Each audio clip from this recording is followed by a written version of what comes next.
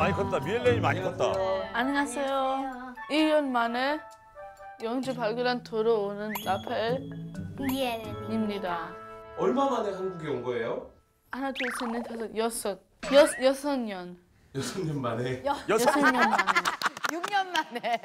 역시 한국어 너무 귀여워요. 한국어 실력은 여전하네요. 네. 뉴른베르크 음대는 잘 다니고 있어요?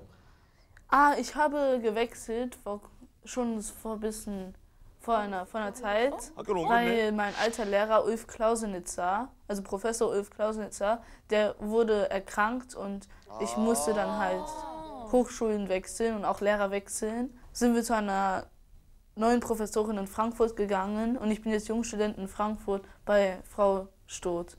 뉘른베르크 국립음대를 거쳐 지금은 프랑크푸르트 국립음대에서 역시 최연소로 공부를 이어가고 있다는 라파엘. 최근 독일 최고의 콩쿨 예선에서 최고점을 받으며 전국 대회를 앞두고 있다고. 한 번 가기도 어렵다는 그 대학을 두 번이나. 네. Äh, ich habe die Aufnahmeprüfung geschafft Oh. und ich war die jüngste Studentin als Raphael. 대학이요? Erste 대학 들어갔어? ankündigen, die Mihelene, die hier vorne sitzt, die spielt jetzt von Ackerlei das erste Violinkonzert, das übrigens 라파엘의 기록을 경신하며 8살의 오빠의 후배가 됐다는 미헬렌. 와, 더 어린 나이에 대학생이 됐어.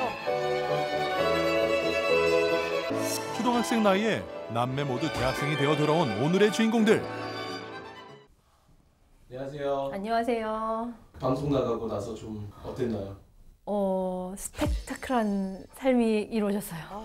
어디를 가도 알아보시는 분도 너무 많고 독일도 그렇고 뉴욕에 저희가 여행을 갔는데 한인 기사분이셨는데 혹시 영재 발굴단에서 나온 아이들 아니냐고 그래서 어머. 우와. 예, 저희도 참 1년 동안 너무 놀라면서 지냈습니다.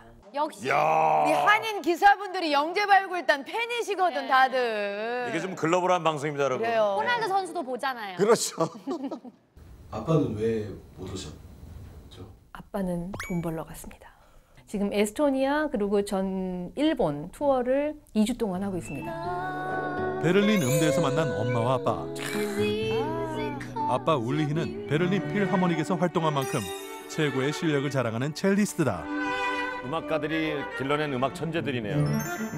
해외 공연을 간 아빠를 두고 한국을 찾은 이유.